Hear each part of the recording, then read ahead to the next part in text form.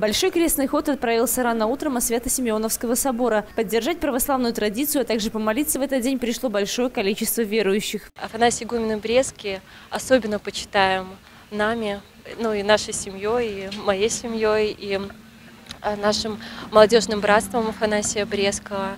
Он защитник святой православной веры и особо дорог нам. Хочется быть частью большого праздника, наверное, чтобы ну, к чему-то святому прикоснуться и побыть на этом празднике и малышу показать, как это, чтобы он тоже приобщался с маленького детства. Радуйся с другими людьми.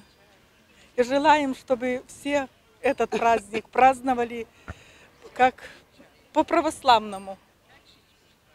Ну, всем здоровья! Главное здоровье всем. Традиционно 18 сентября Брест встречает паломников из разных уголков мира. В городе проходит памятное мероприятие, посвященное Афанасию Брестскому.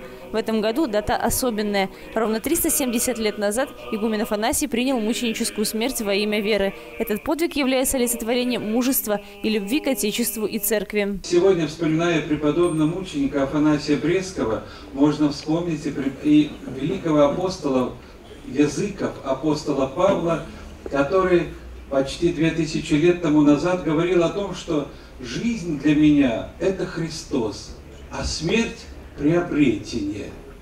Вот преподобный мученик Афанасий воплотил в себе все то, что говорил и проповедовал апостол Павел и другие святые апостолы.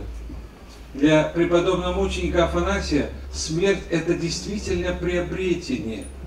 А жизнь, которую он провел – исповедуя Христа Спасителя и проповедуя и утверждая православную церковь, это была действительно его жизнь. Важность проведения торжеств отмечают и представители вертикали власти. Историческая справедливость восстановлена, и сегодня мы говорим, его жизнь – это подвиг.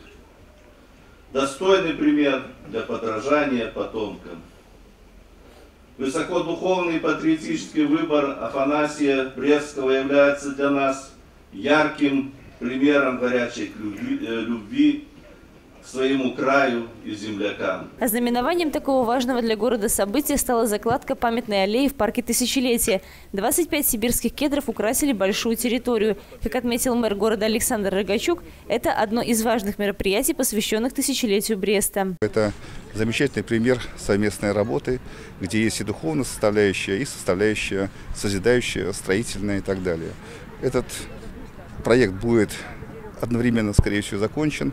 К тысячелетию города мы надеемся увидеть храм уже с закрытым э, контуром. И, соответственно, парк тысячелетия в 2019 году, в конце года, тоже должен стать уже местом отдыха наших горожан. Вместе с тем парк, равно как и душа человеческая – это тот процесс, который невозможно окончить одномоментно. Здесь постоянно должны э, расти деревья, идти какие-то новые объекты появляться, поэтому очень серьезный, важный объект. Большой праздник объединил православных не только из Бреста, но и из других городов Беларуси, России, Польши, Украины. Ведь быть ближе друг к другу, ценить и любить то, что имеешь, и тех, кто рядом – вот главное счастье для каждого, кто верит, надеется и ждет помощи и заступничества от покровителя земли Брестской.